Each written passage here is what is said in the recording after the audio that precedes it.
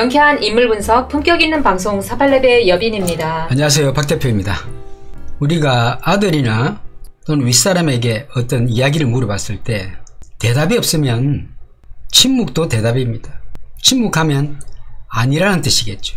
이재명 지사가 말없다고 해서 자꾸 옆에서 철없이 쫓아대는 것은 좋은 게 아니라고 생각합니다. 본인이 철없다는 것이 만천하에 다 드러났고 본인이 무등하다는 것이 만천하에 드러났고 모르는 사람이 없습니다. 혼자 모르고 있어요. 안철수가 멍하면서 비업 씌어시면서도 본인만 모르죠. 똑같은 겁니다. 어떻게 보면 철수 같은 경우에는 마음이 조금 여린 부분이 있습니다. 자기 이익만 만족되면. 그런데 포테이토는 끝까지 해볼 생각입니다. 이번에 이재명 씨와 이런 부분에서도 마지막 경선 때 이것을 적당히 엎으려는 속셈이 있지 않나 이렇게 생각합니다. 여러분들 두눈 똑똑히 뜨고 봐야 합니다. 왜, 왜 그러냐? 저는 그 사람을 1도 믿지 않거든요. 항상 뒤에서 작업하는 사람이기 때문에 조심하셔야 되겠습니다. 김건희 씨의 운이 현재 이렇게 보면 어, 8, 9월 달이 가장 안 좋습니다, 여러분들. 10월, 8, 9, 10월 달이 안 좋습니다. 근데 분명히 어떤 뭡니까? 문제는 일어나지만 이것이 구속까지는 가겠느냐 봤을 때는 이 명략적으로는 이 사람이 구속돼야 맞는데 불구하고 분명히 이걸 정치적으로 해석해서 또 적당히 넘어갈 가능성이 없지 않기 때문에 확답은 못 드리겠습니다만 김건희의 운에서 지금 8, 9월이, 8, 9, 10월이 안 좋다는 것은 분명히 말씀드립니다. 만약에 이런 게 있습니다. 아베 같은 경우에 정확한 사주가 있으면 아베 같은 경우에 누구 저 일본에서 사주를 보내줬습니다 예전에. 네 맞아요. 네. 12월 달인가 그 보내줬는데 시간까지. 예, 시, 그 시간까지 보내줬습니다. 그래서 몇 개월 전에 보내줬길래 그 사주를 보고 이 사람은 언제 그만둘 것이다 해서 그냥 나갔는데 특히 우리나라 같은 경우에는 복잡하고 또 아직 개혁이 안 된 검찰, 언론, 또 기득권들, 사법 개혁이 안 되어 있기 때문에 이것이 어떻게 돌을 돌아가서 어떻게 돌을지 모릅니다. 그렇지만 여러분한테 말씀드립니다. 이번 달, 다음 달, 다다음 달이 안 좋습니다. 8월 달은 왜안 좋냐? 이미 조사가 들어갔을 가능성이 높습니다. 이 사람한테. 특히 9월 달이 안 좋고 10월 달도 안 좋은데요. 좀 더 지켜봅시다. 이 사람이 꼭 구속돼야 되는데 또 어떤 구실로 나올지 언론에서 나오는 얘기는 이미 그 정치적 해석으로 일단 이미 하고 있는 것 같고요. 윤자영도 마찬가지입니다만 11월, 12월, 1월 달에 나가게 돼 있어요. 그 명약상 분명히 사람이 나가는데 왜 못 나갔느냐? 이것은 어떻게 보면 포테이토에 작업이 들어갔을 거예요. 아마. 뒤에서 작업했기 때문에 그런 거고 징계 때도 마찬가지입니다만 그때 나가야 되는데 또 포테이토가 모르죠 넘어갔고 이 검찰을 옹호하는 거 보면 제가 볼 때는 그냥 연장성산이 있다 그냥 어느 끈이 연결되어 있다는 것은 100%라고 보입니다 앞으로 점점 캐면 캘수록 감자줄기처럼 나올 거니까 두고 보십시오 그 사람의 특징입니다 숨김에 뒤에서 작업하는 것 겉으로는 점잖고 속으로는 작업하는 것 이런 것들입 니다 여러분들 흠집만 자꾸 캐려고 하고 저쪽에 윤석열 씨에 대해서는 아직 말 한마디 안 하는 것 같고요. 네. 왜말 안 합니까? 역선택을 바라는 거죠. 그 잔머리 때문에 결국 골로 갈 겁니다, 여러분들. 김건희 문제, 가족 문제를 대놓고 이야기할 수 있는데 말을 안 합니다. 연결건이 있으니까. 그 사람은 낱낱이 보면요, 다 끈이 있습니다. 그 사람은 좋게 좋게 해서 어쨌든 내각제를 해서 제가 볼 때는 뭐 돌아 돌려먹기 하자 이런 주의지 그 사람을 꼭 이기겠다는 이런 건 없습니다. 그리고 개혁도 마찬가지지만은 첫 대통령부터 첫, 첫 술에 배부를 수는 없습니다. 그래서 이게 무르익고 무르익고 무르익고 하다가 하나씩 이제 처리할 건 처리하고 그 다음 정권에서 완벽하게 돌아가겠죠. 그렇게 저는 봅니다. 쉽지는 않습니다. 거대한 이 세력에 맞대서 대통령이라지만 대통령의 사실 권한을 다 행사할 수도 없는 것이고 그런 거 아니겠습니까? 벌써부터 그 이낙연 후보님이 이번 민주당 경선에서 불복할 거라는 얘기가 나오고 있고요. 그 이재명 캠프 내에서도 이낙연 캠프가 이렇게까지 해야 되나 그 무료 네. 변론 의혹에 대해서 이거 별일 아닌데 자꾸 이름을 캐고 있는데 그래서 이낙연 후보님의 지금 방향성은 정권 재창출이 아니라 그냥 오로지 내가 돼야 된다 이런 생각밖에 없는 것 같습니다. 여러분들 생각해 보세요. 그 사람이 재작년부터 이미 대통령이 된 거나 마찬가지예요. 인사 문제나 다 개입해서 다 한 거 아니에요. 네. 거의 준 대통령이나 준 대통령 가까웠잖아요. 그래서 이런 사람이 대통령을 안 하면 못, 못 견디지. 왜? 애같이 욕심 많지요. 여태까지 내라는 사람을 다 보여줬는데 이러니까 당연히 자기가 돼야 되겠죠. 그 사람은 마음 비움이 없습니다. 예, 그래서 아마 경선을 갖다가 좀 이렇게 아작을 낼 가능성도 매우 높은데 이 사람을 누군가가 좀 쳐내야 될 겁니다 아마. 자, 오늘 이제 방송을 킨 이유가 저희가 커뮤니티에 사진 두 장을 올려드렸는데 사진을 보고 이 사람이 어떤 현재 상황을 저희가 한번 찾아보고 대표님께서 또 해석을 해드리겠습니다. 이 사진을 보고 느끼는 게 있습니까?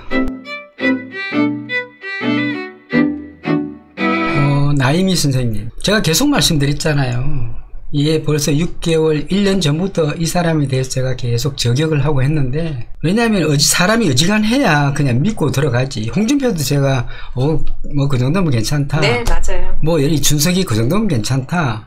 김종인은 머리가 좋은 사람이고 약은 사람이다라고 계속 이야기했고요. 철수는 좀 비협시엇이다. 비협시엇 중에 더 나쁜 놈이 누구냐면 바로 그 사람이다라고 이야기했습니다. 네. 여러분들 그 상상, 상상 이상이 상상 이상이에요. 예. 그 그걸 추월하지 못해요, 여러분들. 그만큼 그런 사람들이 무슨 짓을 못했겠어요, 가서 그런 사람들이 어떤 짓을 못했겠어요. 특히 아니 김종인한테 절을 절을 하듯이 인사를 하는 그 사람이 무슨 짓을 못했겠어요.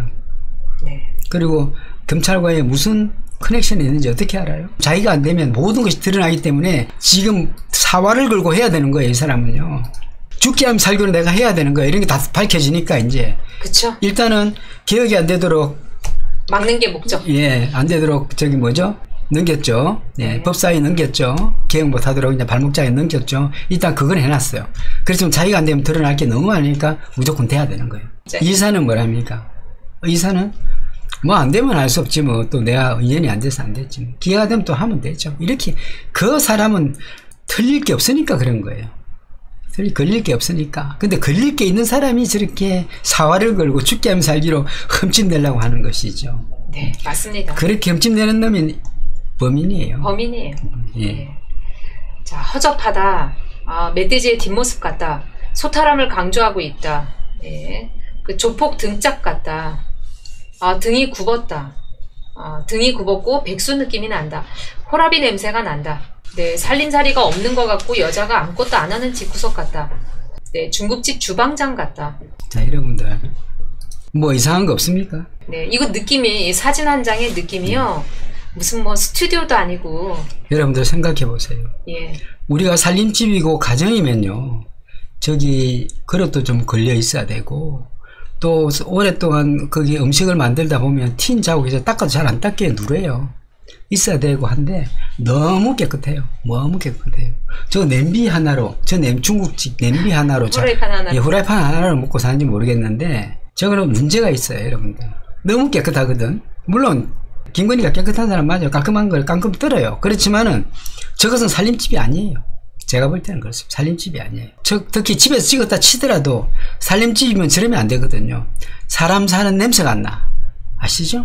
등이 너무 휘었고 배 위까지 이렇게 사력을 차올랐기 때문에 예. 건강이 상당히 안 좋습니다. 저거요. 아무리 연출을 해도 저기 자기 집이라면 저 밑에 그게 있습니다. 환기통도 있을 것이고 좀 지저분할 수밖에 아무리 닦아도 그건 좀 지저분할 텐데 너무 깨끗한 거 보면 살림은 제대로 안 산 집이다라고 밖에 볼 수 없습니다. 여성의 역할이 없는 집이다라고 거의 보시면 되겠습니다. 아니면 남자 둘이 사는 거예요? 아니면 여성이 너무나 빠- 아주 일어나서 깨끗하게 청소해서 깨끗하게 했던지 둘 중에 하나입니다. 빅토리아 선생님, 싱크대 구조가. 저는 이 친구가 그걸 안 드릴 겁니다. 가정부를 안 드릴 겁니다. 사람을 못 믿거든요. 음, 안 드릴 겁니다. 그쵸. 혹시 비밀, 지가 합니다. 비밀스러운 게 탄로날 네, 수도 있으니까. 횡하다는 거예요.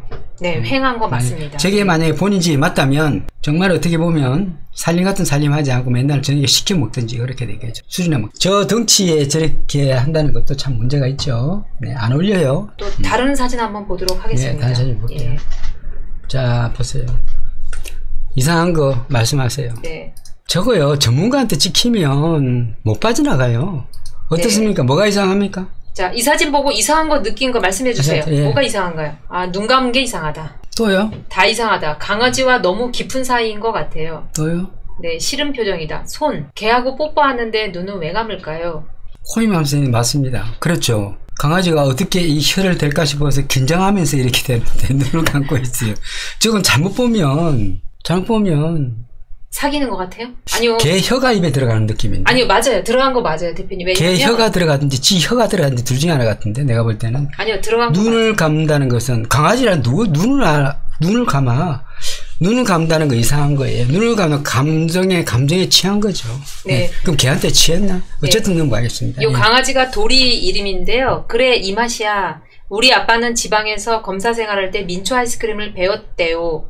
주말마다 서울 올라오는 기차에서 늘 민초 먹었다며 고향의 맛을 즐기고 계세요. 개뽀뽀. 후식은 민초가 아니라 개뽀뽀. 그래 이 맛이야. 그래서 본인이 아이스크림 먹고 나서 이제 개하고 뽀뽀를 하면서 강아지가 이제 민초 아이스크림을 맛을 자, 그리고 여러분들 강아지 키워본 사람은 압니다. 강아지는 저렇게 안 하나요? 강아지는 저렇게 앉지 않습니다. 왜? 그 사이에 강아지가 안고 그 배가 지저분하단 말이에요. 안을 땐 항상 이렇게 앉습니다. 강아지를 이렇게 발을 받쳐줘야 강아지는 안전하다고 생각해요. 강아지 앉을 때 이렇게 앉습니다. 누가 이렇게 앉는데 강아지를? 대상자가 바뀐 게 아닐까. 이 개가 아니고 원래 사실은 저기 음, 김건희가 좀 뻣뻣해서 김건희가 뻣뻣하고 받아주지 않아서. 예, 안 받아주니까 강아지라도 저렇게 안고 있는 게 아닌가 그렇습니다. 그래서 저 친구는 베개가 많을 것이고 베개를 안고 잔다든지 강아지를 안고 잔다든지 하지 않을까. 왜냐하면 사실 김건희 같은 경우에는 실제로 음, 그런 부분을 그렇게 좋아하지는 않습니다. 여러분이 어떻게 생각할지 몰라도 좋아하지는 않습니다. 그렇기 때문에 이 사람을 별로 좋아하지 않아요. 이런 스타일을 김건희는요 샤프한 사람 좋아해요. 근데 같이 안 갈 거라고. 그렇게 하면 강아지는 안고 있으라지. 그리고 강아지 앉을 때 이렇게 앉지. 누가 이렇게 앉는데 강아지를 그렇게 그런 일 없습니다. 저는 강아지 그렇게 안아본 적이 없어요. 항상 띄어서 이렇게 안아요. 왜?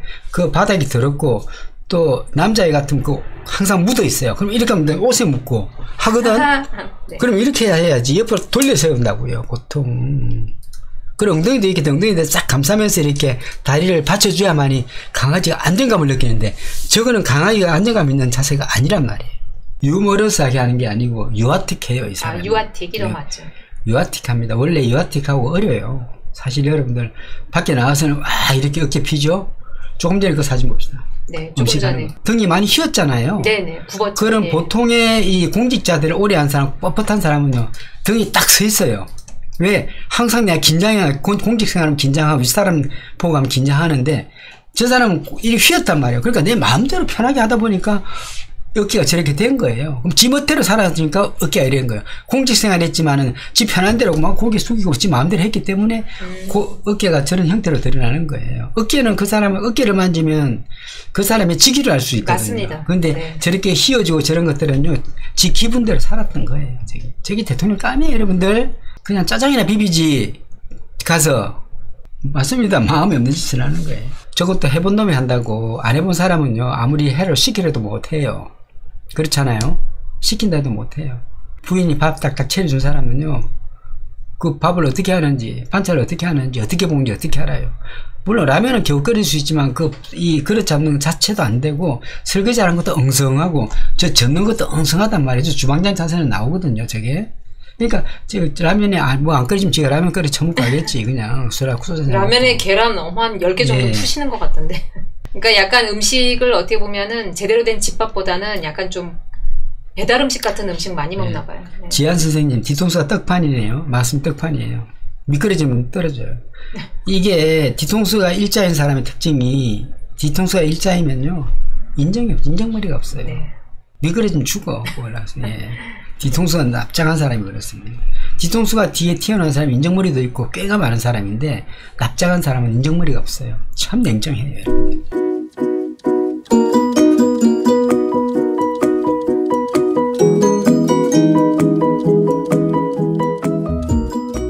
어떻습니까 여러분들 설명해 주세요. 깃털 부위스템 10월 달에 일어날 수 있습니다. 문제가 좀 더 더 드러날 겁니다. 11월 달에 수염 자국이 있네요. 아따 깃털 부인님 강성이시네요. 네 또요. 이분 이마가 M자예요. M자. M자 예. 생각하다 세상 세상 뭐 시골 치랑 당하는 거지. 네. 김양택 선생님 감사합니다. 옵티머스 네. 아들 첫건 사망이 카페 카르페 디엠 선생님 언제 일입니까?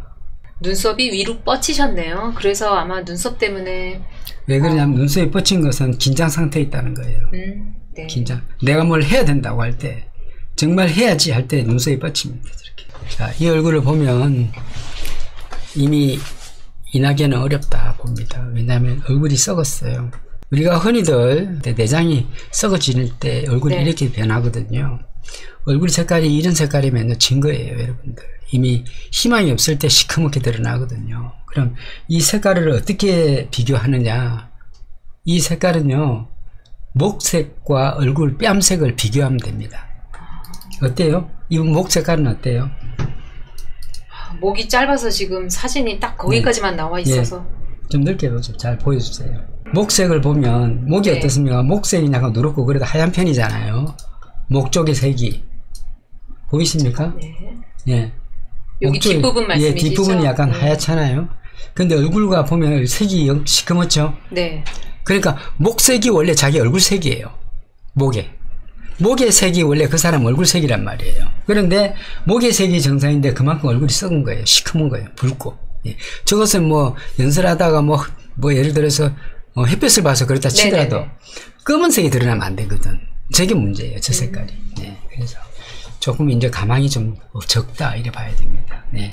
그쵸. 그을려도 아, 여기 이렇게 보니까 이마도 까맣네요. 까마려다. 그을려도 빛이 얼굴이 나죠. 그냥 반반해 좋은 예. 빛이 납니다. 근데 저기 시커매면서 저렇게 되면요. 이마도 검맣잖아요.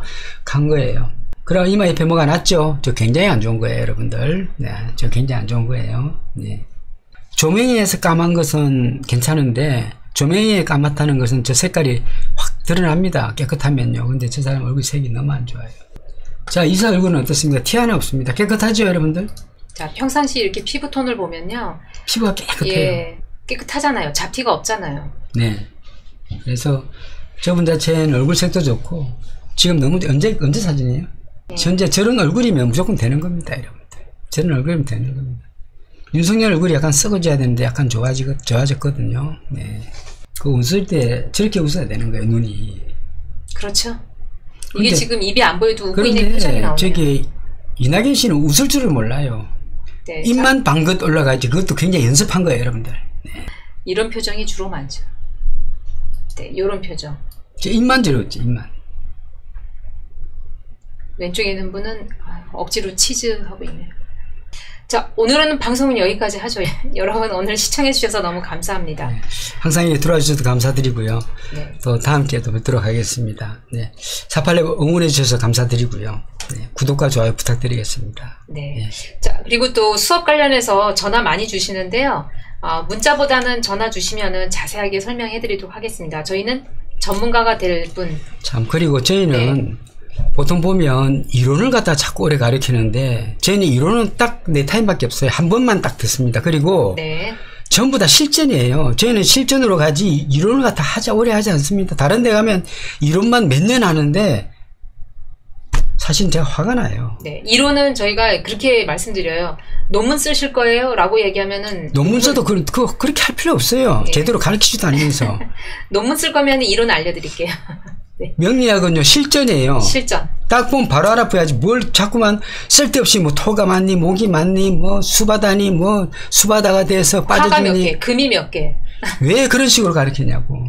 네. 그래서 그래요. 그럼 선생님, 이게 어떤 분이 그래요. 어, 얘가 토가 없는데. 선생님 있는 그대로 봐줘야 되는 거죠. 선생님 토가 왜 없습니까? 이 대원에 토가 다 있잖아. 왜 없습니까? 물론 그 인- 대원에서 들어온 것과 이 사주에 나온 건 다르지만 그래도 이게 없다고 선생님 불편한 거 없잖아요. 그러니까 이게 없습니다. 네. 지금 잘 나가고 있는데 왜 그런 말 하십니까? 그러니까 그래도 이야기했어요. 아닙니다. 그 선생님 여덟 글자에서 여덟 글자에 선생님 그대로 봐주는 겁니다. 라고 이야기하고요. 또 이야기하지만 사주에 글자 하나 바뀌면 사주를 완전히 바꾸 다르게 봐야 되는데 불구하고 월별로 뭐 어떻다 이렇게 하는 건 절대 보지 마세요. 띠별 운세, 월별 운세 보지 마세요. 그 사람의 정확하게 사람마다 월별 운세가 다 달라요. 네. 여태, 그리고 여태까지 제가 그 많은 사람을 많이 봤지만은 똑같은 사람 하나도 없었거든요. 아니, 하나도 없더라고요. 하나도 없어요. 하나도 없는데 불구하고 월별은 이런 사람이 이렇더라. 무슨 띠는 병신생이 무슨 띠, 뭐 예를 들어서 무슨 생은 무슨 띠, 뭐 기예생은 무슨 띠. 그런 말 하지 마세요. 예? 네. 마세요. 그리고 제발 공부 어설프게 하시고선 다른 사람을 상담해 주거나 영업은 하지 마세요. 자꾸 뭐 돈벌이 수단으로 생각하시는데 준비가 안 됐고 전문가도 아닌데 저기 그렇게 돈벌이 수단으로 생각하셔서 이 근데 왜 그러냐면, 왜 그러냐면, 사람 잘못 봐주잖아요.